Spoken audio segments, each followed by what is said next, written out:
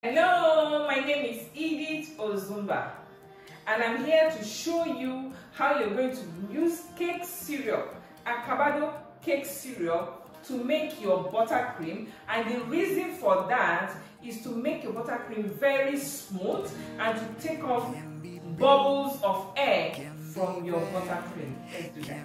I have here with me already 500 gram of Acabado icing sugar, very smooth, very white, don't forget. And I have with me margarine. I'm going to be using 250 grams of margarine, 500 grams of Acabado icing sugar, and I'm going to be using one tablespoon of Acabado cake syrup.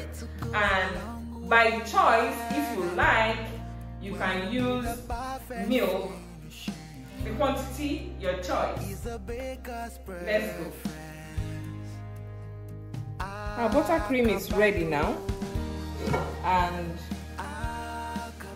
this is the exact time you can add your cake syrup. You can add one tablespoon and if if you feel is the consistency is not yet what you want you want it lighter you add another one tablespoon okay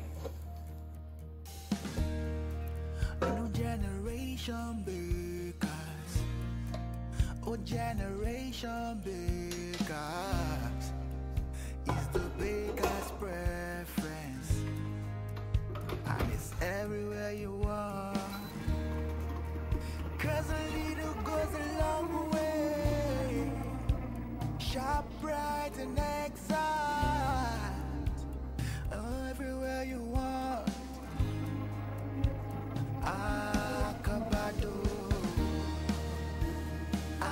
Now please to reduce the to make sure that all the bubbles are gone you will reduce your mixer gently.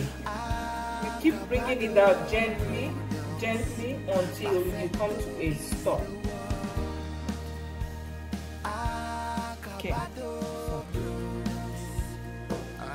We are good. You see how smooth it is? See? How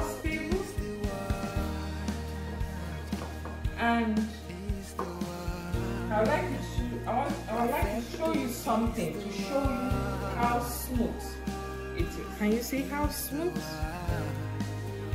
and how your air bubble can be reduced? Okay. When you need equality, perfect productivity.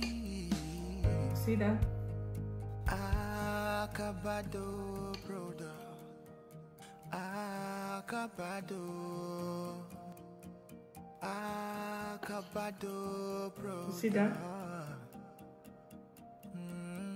You see that? You see that? Acabado